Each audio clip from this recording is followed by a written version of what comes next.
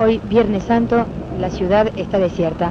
Estamos en la calle San Juan a la altura del 2900, pero el primer comando del cuerpo de ejército realiza el operativo Rastrillo.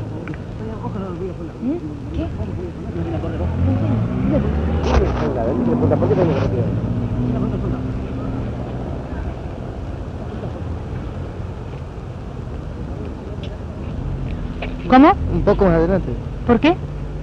No, adelante. Nos tenemos que retirar a 50 metros de donde se efectúa el operativo. Se controlan más o menos en el día unas 100 unidades.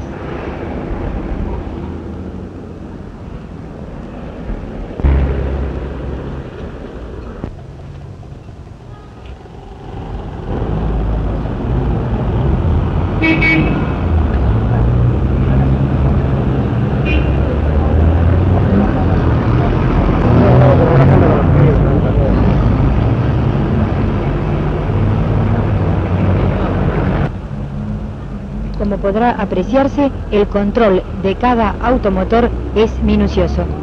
Se piden documentos, se cachea de armas y así sigue el procedimiento en San Juan y de Anfunes.